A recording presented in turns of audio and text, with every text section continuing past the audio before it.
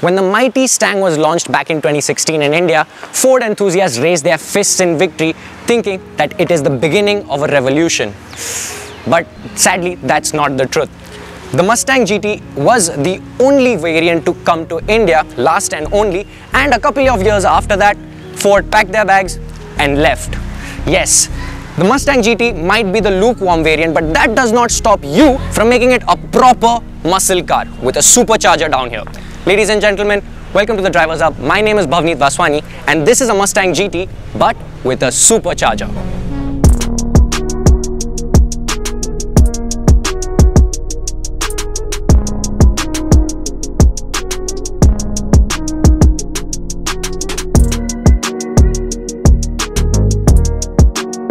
Is forced induction? Well, essentially, turbochargers and superchargers are air compressors used to increase oxygen flow into an engine through forced induction, as in forcing and compressing the air inside the block. But each accomplishes this goal in its own way. Forced induction uses the principle that more air in the combustion process creates a greater output of power. But today, we are focusing on superchargers. These whiny boys are powered directly by the engine. A belt pulley drives gears that cause a compressor fan to rotate. The supercharger's biggest advantage over a turbocharger is that it does not have any lag. Power delivery is immediate because the supercharger is driven by the engine's crankshaft. Open up the big long bonnet of the Mustang and the big 5 litre V8 is now even more cramped thanks to this centrifugal supercharger from ProCharger. You've got NGK spark plugs, uh, a fuel uh, fuel injectors from DeatschWerks. You've got an intercooler from ProCharger, a BMC air filter, uh, headers from X-Force and a Corsa catback system all of this has been uh, set up with a Palm Beach dyno tune. Those guys are really famous for Mustangs and they make some crazy, crazy builds. And this is uh, their stage 2 setup for this supercharger, which is wild. And the power figures have become even wilder. Stock, this produces around 400 bhp and 530 newton meters of torque, but now this makes a whopping 700 bhp and 900 newton meters of torque. Big power.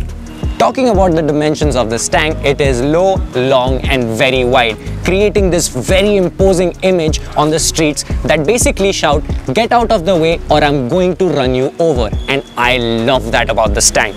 When it comes to the looks, the owner has done some really tasteful mods to make the car look better, like this midnight purple PPF, uh, Shelby body kit which includes the front bumper and rear bumper, these uh, more aggressive fenders and that massive wing that's made out of carbon fiber behind. The car looks absolutely banging.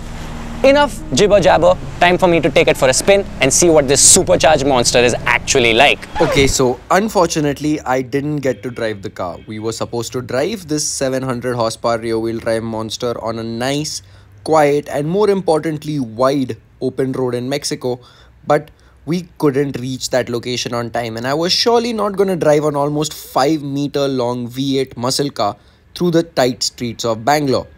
So we decided to go for a joyride with the owner himself, but that also failed because it was super dark out and the GoPro didn't capture anything.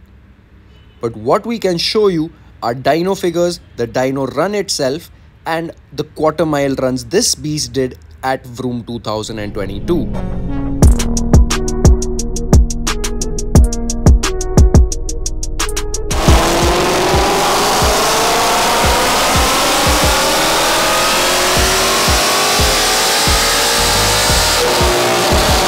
Yeah, sounds like a creature that has made its way straight out of hell. And now check out these dyno figures. Can you see how linear that curve is? That's the benefit of the supercharger. It can give you power delivery like a naturally aspirated car, but with the extra punch of a turbo. Now, yes, if you notice the power figures, they have come out to be 653 crank horsepower and 661 newton meters of torque. Before everyone says that we've clickbaited them, this dyno run was done with the base map provided by Palm Beach. But later on, the owner installed the race map and in that configuration, this Mustang produces the previously claimed 700 bhp and 900 newton meters. All of the dyno testing was done at none other than Harmonix Tuning. Big shout out to them for providing this amazing footage of the dyno and the dyno graphs of the Mustang.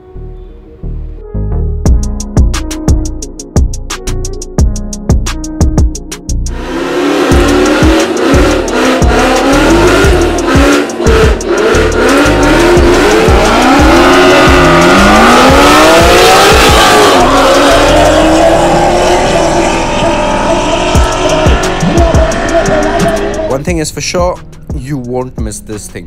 The exhaust is so loud you can literally wake up your whole neighborhood.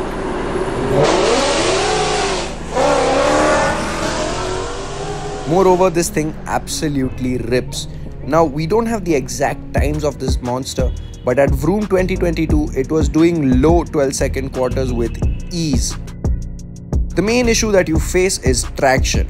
All of that torque, all of the power, very easily overwhelms the tires which are PS4s. Moreover, this thing can spin its tires throughout third gear as well if you don't know what you're doing. But if you get it right, the owner says that this thing can break into the 11s. Maybe the tires and the surface are the limiting factor for that. We will just have to wait and see. The real place where this thing will monster almost any other car is in the sprint from 100 to 200 kilometers per hour. Again, we don't have any Dragy figures to show you, but this thing can do 100 to 200 kilometers per hour in around 7 seconds which we can all agree is mind-blowingly quick for a car that weighs almost 1800 kgs and is almost as long as a Range Rover Sport. Overall, this is one of those builds that just leave you awestruck. This Procharge Mustang sounds like something out of hell, is as fast as a supercar, and can literally scare the living shit out of you once you go flat out. We are very thankful to the owner for letting us film this monster. It was truly a pleasure to film and experience this thing. Subscribe to the channel, comment what you thought of this Mustang from hell, and we will see you in the next one.